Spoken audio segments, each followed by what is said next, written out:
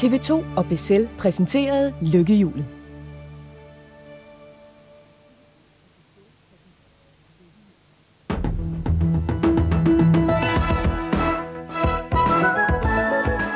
Kan samfundet tillade, at børn vokser op her?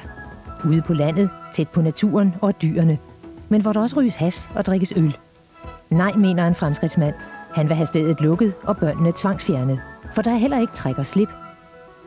Se der sket besøger stedet sammen med fremskridtsmanden. Og snakker også med børnene. Hvor vil I helst bo i hele verden? Øh, i Frøstruplejren. Se der sket lørdag 19.30 på TV2. Dansk Grammy 1993, lørdag den 20. februar. Peter Bille er vært for aftenen, og ved sin side har han Pernille Højmark og Marianne van Thornburg, kendt som Sweethearts. Oplev live, direkte fra Falconer-scenen, Gangway, Sandman, Lisa Nielsen, Dalton, Sko Torp, Her Personal Pain, Dodo and the Dodos og mange flere. De bedste udenlandske og danske kunstnere står klar til at modtage årets musikpriser. Dansk Grammy, lørdag 21.25. TV2 og Nescafé Cappuccino præsenterer den danske Grammy 1993.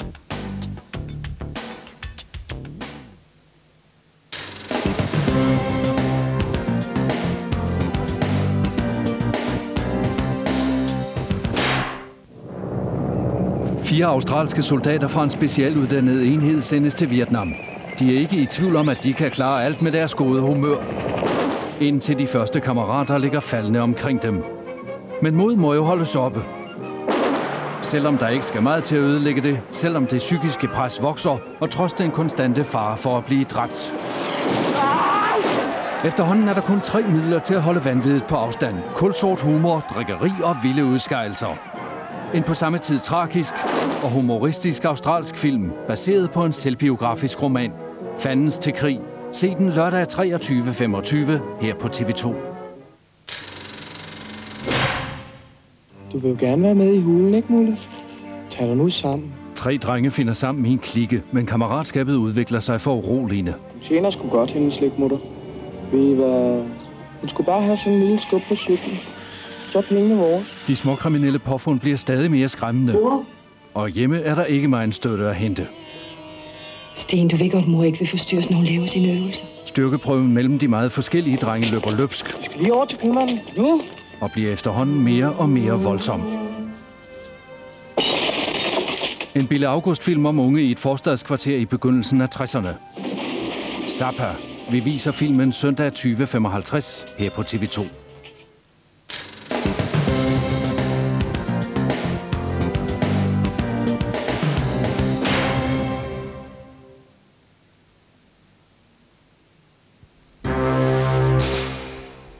TV2 i aften. Her er der først nyheder, så regionalprogrammer 19.30 og kl. 20 første del af elevatoren. God aften. I første afdeling af elevatoren, som starter om godt en times tid kl. 8, der får vi besøg af den engelske musiker Brian Ferry, som kommer og. Hvad sker der? Ja, der stod bare et par tandlæger herude, der prøvede at få mig op i en tandlægestol. Ole, de tandlæger, de, dem skal først bruge i udsendelsen. Skal vi det? Hvorfor har du Altså- boksehandsker på? Det er fordi uh, Gert Bo Jacobsen kommer også. Han skal også lige sludre lidt med, havde jeg tænkt mig. Altså- Så kan jeg lige øve mig lidt. Undskyld på- tumulten. Ole, er vi tilbage kl. 8 på gensyn. Og 21.20 Top Cops. Her kommer politiet på sporet af en børnelokker, da en lille dreng tager mod til sig og røber en frygtelig hemmelighed. What do you mean? He picks fights with you? No, he...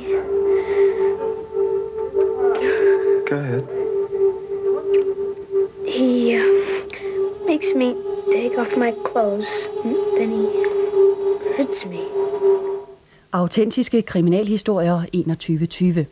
Så er der nyheder igen kl. 22, og elevatoren vender tilbage 22.15, hvor musikken er med svenske Vicky Benkert, der har sunget kor i Roxette.